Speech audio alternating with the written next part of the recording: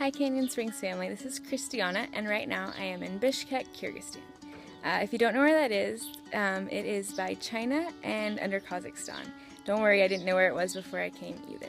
Uh, so it's a very interesting country. Um, it used to be part of Soviet Union and now is majority Muslim. Um, and it's just a weird mix of cultures and there's a lot of synchronized religion with um, the different tribes.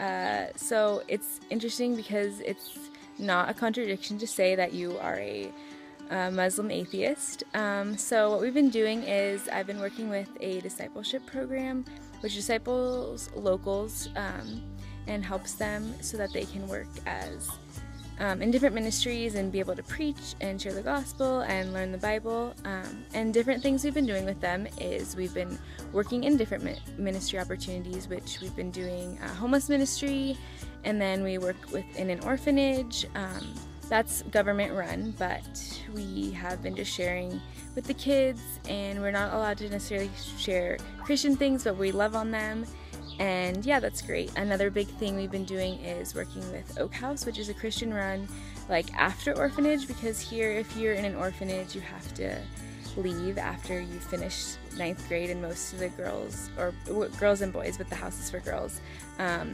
you finish around 15 or 16 years old and then you're kind of kicked out um, and so this is a program to help them kind of an in-between stage and we've been helping by paying their house and doing various things we've also been working really closely with the local church, and God has really shown me how important that is to just have more long term goals through missions and just not come in, do your thing, and leave, but to be cons- consistent and working with the nationals. And it's, it's hard because as a foreign worker, you can't necessarily share um, all of your beliefs because the government doesn't necessarily want you there, but you can help raise nationals to do it themselves.